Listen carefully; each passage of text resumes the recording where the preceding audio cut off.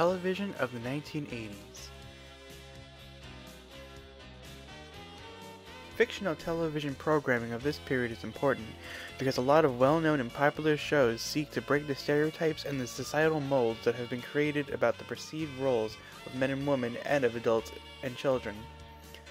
A few important shows to discuss are Family Ties, Who is the Boss, Growing Pains, and Full House.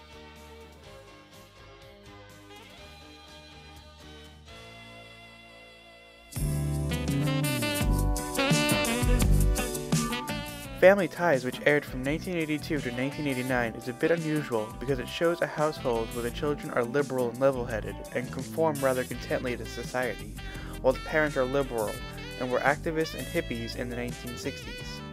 Alex Keaton, played by Michael J. Fox, is a strict Republican and outwardly disapproves of his parents' beliefs, and this is often a point of contention throughout the series.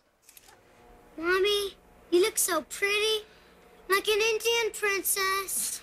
That's your father, dear. Who's the Boss, which aired from 1984 to 1992, messes with the established view of gender roles, because in this show the male figure is essentially the stay-at-home parent, while the woman goes out and works. Although the lead characters Tony Micelli and Angela Bauer are not married, there is tension over which of the two is really in charge, hence the title of the show. Shut up down there, I'm trying to sleep! Hey, go sit on your hard hat! Show me that smile again. Growing Pains, which aired from 1985 to 1992, is clearly an homage to Who's the Boss, as is evident from the opening scene of the first episode, where the theme song can be heard.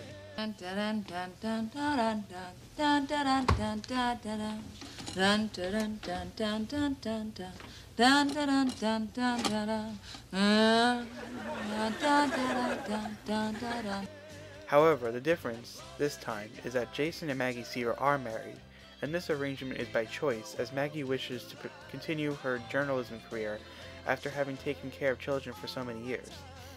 The major point of this show is seeing if Jason has what it takes to handle three children after having been out working all of those years. Come on, son. Mom, Dad, this is Jerry. I guess it's kind of hard to see the basis of our friendship, huh?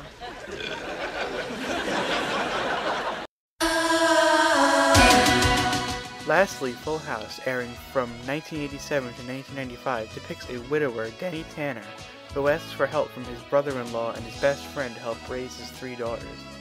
This blurs the concept even further as now three males have to try to play the role of both mother and father, especially with two of them being unexperienced parents. Naturally, this can often result in huge mistakes. We have a winner.